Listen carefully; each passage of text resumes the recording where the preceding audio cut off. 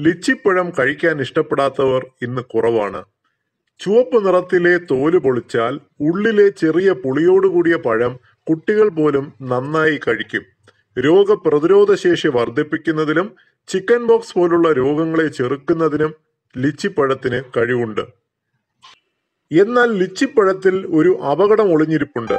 ശരിയായി പാകമെത്താത്ത ലിച്ചിപ്പഴം വാങ്ങി കഴിക്കുന്നത് മരണകാരകമായേക്കാം. രണ്ടായിരത്തി പതിനാലിൽ ബീഹാറിലെ മുസാഫിർപൂറിൽ പതിനഞ്ച് വയസ്സിൽ താഴെയുള്ള നൂറിലധികം കുട്ടികളുടെ മരണത്തിന് ലിച്ചിപ്പഴം കാരണമായി എന്ന് ഇന്ത്യയിലെയും അമേരിക്കയിലെയും ശാസ്ത്രജ്ഞർ കണ്ടെത്തിയിട്ടുണ്ട്. ലിച്ചിപ്പഴത്തിൽ ഹൈപ്പോഗ്ലൈസീൻ എ എന്ന രാസവസ്തുവും മെത്തിലീൻ സൈക്ലോപ്രോലൈൻ ഗ്ലൈസീൻ എന്ന രാസവസ്തുവും വളരെ ഉയർന്ന അളവിൽ അടങ്ങിയിട്ടുണ്ട്. പഴുത്ത പഴത്തെ അപേക്ഷിച്ച് അധികം പാകമാകാത്ത ലിച്ചിപ്പഴത്തിൽ ഈ രണ്ട് രാസവസ്തുക്കളും മാരകമായ അളവിൽ അടങ്ങിയിട്ടുണ്ട്. ഈ രാസവസ്തുക്കൾ ഉയർന്ന അളവിൽ ശരീരത്തിലെത്തിയാൽ രക്തത്തിന്റെ ഗ്ലൂക്കോസിന്റെ അളവ് അമിതമായി കുറഞ്ഞു പോവുകയും അത് എൻസിഫലോപ്പതി എപ്പിലെപ്സി അബോധാവസ്ഥ കോമ തുടങ്ങി മരണത്തിലെത്തിയെന്നും വരാം.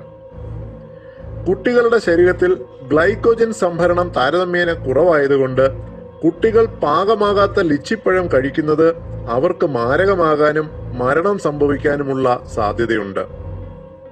ലിച്ചിപ്പഴം ഇന്ന് ഏറെ ജനപ്രിയമാകുന്നത് കൊണ്ട് തന്നെ അധികം പാകമാകാത്ത പഴത്തിൽ നിറമടിച്ച് വളരെ സാധാരണയായി ഇന്ന് വിപണിയിൽ വരുന്നുണ്ട്. പഴുത്തതാണ് എന്ന് കരുതി നാം ഈ പഴങ്ങൾ വാങ്ങി ഉപയോഗിക്കുന്നത് ചിലപ്പോൾ മാരകമായേക്കാം.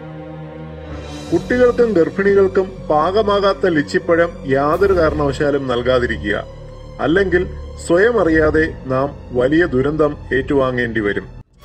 വളരെ പ്രധാനപ്പെട്ട ഇൻഫർമേഷൻ എല്ലാ കുടുംബങ്ങളുടെയും അറിവിലേക്കായി ഷെയർ ചെയ്യുക. ഓർക്കുക ഓർത്താൽ നന്ന് എന്ന് ഓമൈ ഹെൽത്ത്